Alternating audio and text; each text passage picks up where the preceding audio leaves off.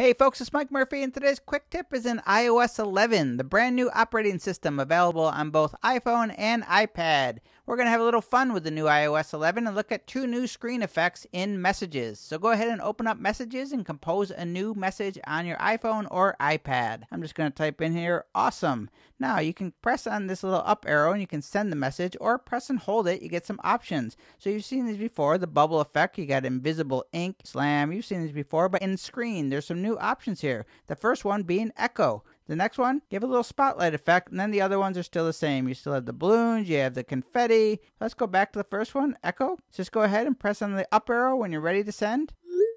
Then when that person opens it, we'll go into messages. This is what they get.